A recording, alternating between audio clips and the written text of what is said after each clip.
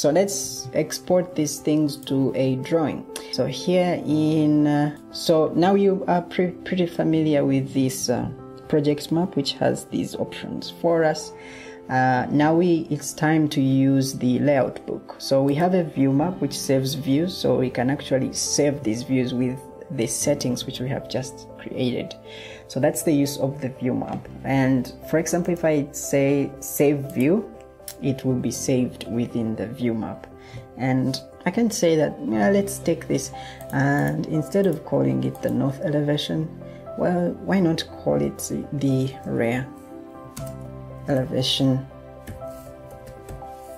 It's okay. So that will be created at the bottom of the view map. So when we come here in the layout book, it's time to bring the things which we have put on the view map onto the layout book. So the layout book is what contains the default layout. So now we have the masters here and then the layouts here. So let's collapse everything like I have just done, just collapse everything and then let's create our own. So let's create like a new layout. So this layout, I'm going to make it an a3 perhaps let's output on an A3 and let's make this presentation one say create and that will be created. Of course it has been created in here. We can remove it from that folder and just have it on the outside. So all we want is to being able to bring things in. So you can see that we are seeing something here and this something is what is in that master layout. So if we go to a3 master layout this is what is there. So when we delete this it will be shown in here. So it will be updated and it will be removed. So right here now we can put in the things which we have put for example this rear elevation. If we bring it and drop it in here ah there it is nice and simple. It will be dragged and dropped in. So how you can resize like the way you can get a slab and rescale it. So it's it's easy pretty easy to come in here and resize for this our drawing here so if we come back here to like the south elevation, there's another way to bypass the save view. We can just, we can just save and place on the layout, which will just bypass the process of the view map. If you do not want to go through the view map, you can actually save directly onto the layout. So either way, it's the same thing. And I try to cut out the stuff that I don't need.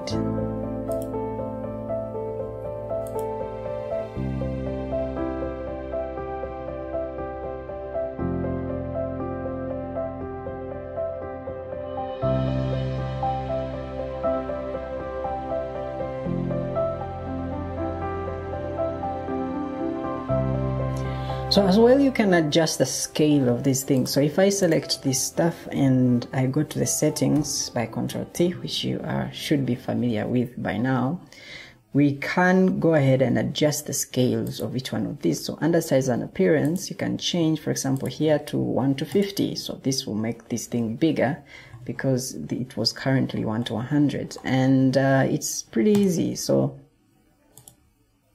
now we have ourselves bigger drawings and bigger representation. And these things are completely updatable. So if for example we changed anything on the floor plan it will be automatically updated on this layout. So let's for example uh, change what's being happening here on this rear elevation so if we come to the rear which is this other side and move this for example closer because I feel like we are showing too much terrain. And now when we come to this layout book, you can see that it should update here and remove this thing here. Good. That's it. So now it's completely updatable and it's pretty easy and good to work with.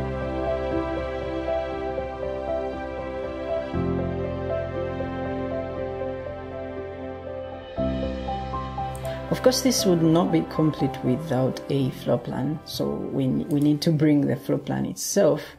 And as well, we can put in dimensions. So how do we put in dimensions? Um, it's pretty easy. We can come here and uh, document and we just pick dimensions here.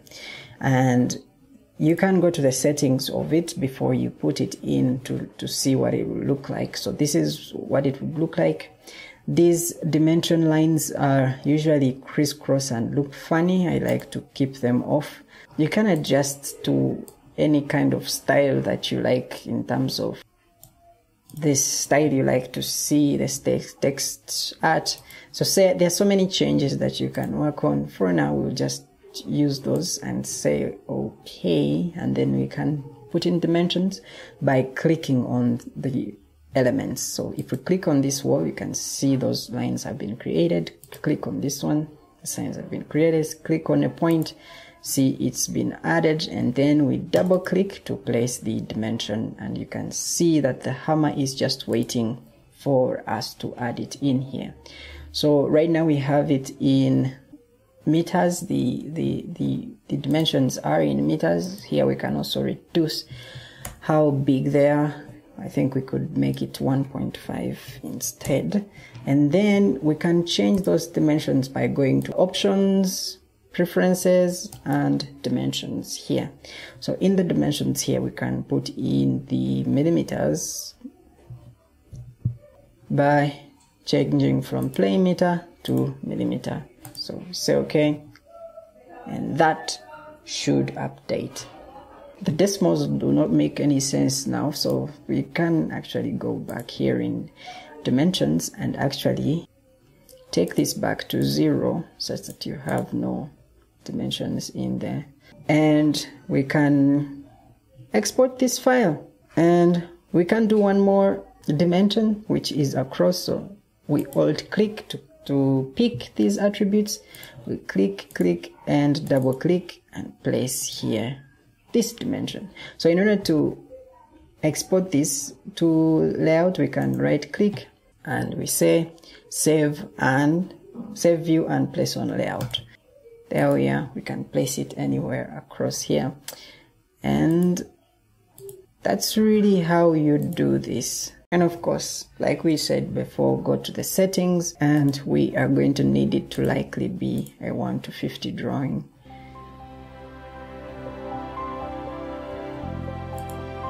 And the rest of the positioning styles are to your test. That is it. That is it. Now we can save. We can save file save as and look for somewhere to put it on the desktop. Make sure to change to pdf and you can go in the document options and be sure to change to a black and white or to color. Since it's presentation color will work for us. And we can save the entire layout. We say okay and we are good. So that is it. Thanks so much for being here with me